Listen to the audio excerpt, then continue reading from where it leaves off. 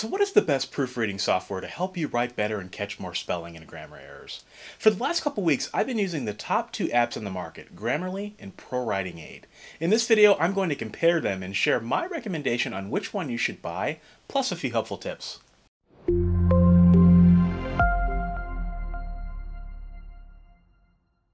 This video is brought to you by Be a Writing Machine, the book for writers wanting to know the secrets of writing better, writing faster, and being prolific. It's the exact blueprint I've used to write over 40 books and counting while balancing a full-time job, a family, and law school classes in the evenings.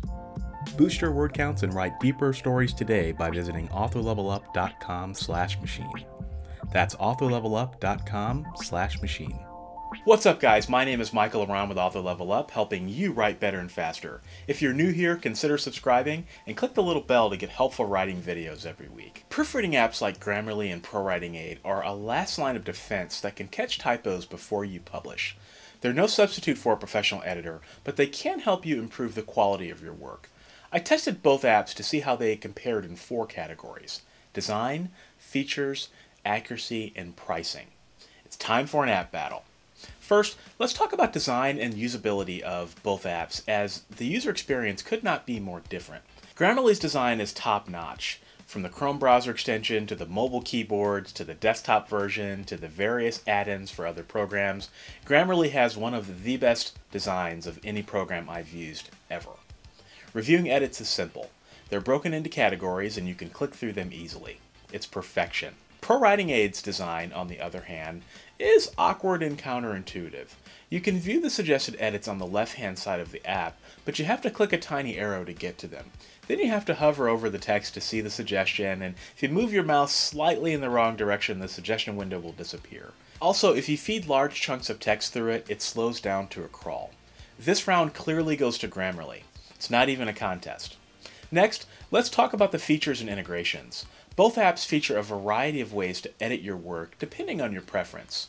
Grammarly offers a great keyboard for iOS and Android, a desktop version and a web version, and an add-in for Microsoft Word. Grammarly checks your work in the following categories, including but not limited to spelling, grammar, punctuation, word variety, vocabulary, and style.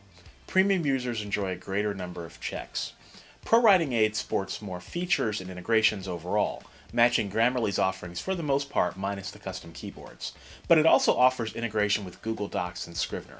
On the functionality side, ProWritingAid offers far more grammar and spelling checks than Grammarly, including but not limited to spelling, grammar, style, overused words, diction, dialogue checks, and homonyms.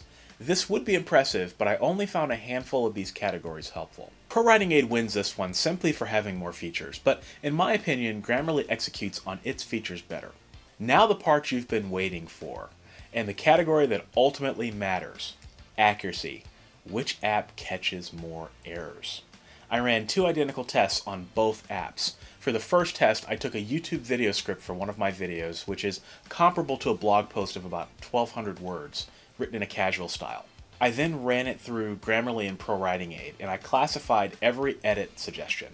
Agree for suggested edits that I agreed with and changed, disagree for edits that were sound but that I disagreed with, usually for stylistic reasons, and false positives. False positives are an unnecessary evil in any spelling and grammar checker, and I wanted to keep track of them just to see how many suggested edits that were completely wrong or had an incorrect rule applied to the text.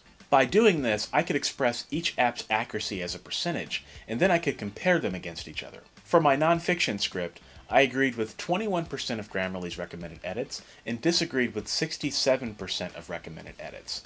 12% of all recommended edits were false positives. For ProWritingAid, I agreed with 24% of recommended edits, disagreed with 45%, and 31% of all recommended edits were false positives.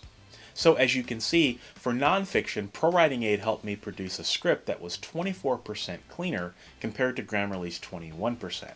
But Grammarly was more accurate and produced less false positives. I tested several scripts after this, and the results were fairly consistent. Let's see how they handle fiction.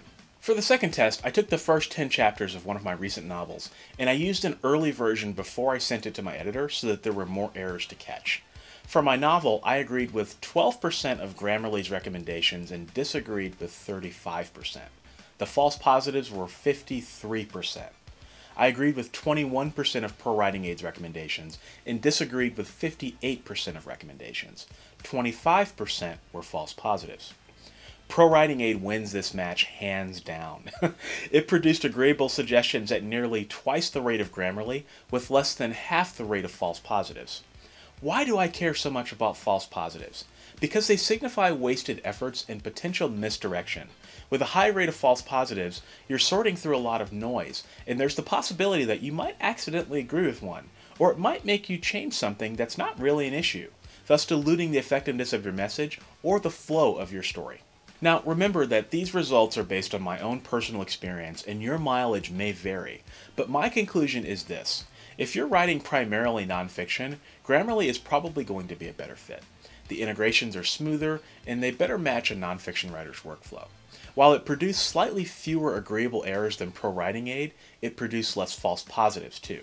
If you're writing fiction, then Pro Writing Aid is probably a better fit. It was specifically created for fiction writers, and it handles things like fragmented sentences and dialogue better than Grammarly.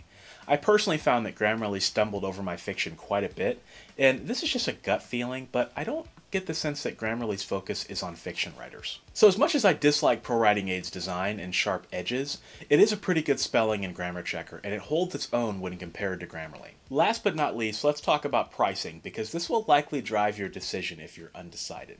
At the time of this video, Grammarly offers a free version and a premium plan that runs anywhere from $11 to $30 US per month, depending on whether you pay monthly, quarterly, or annually.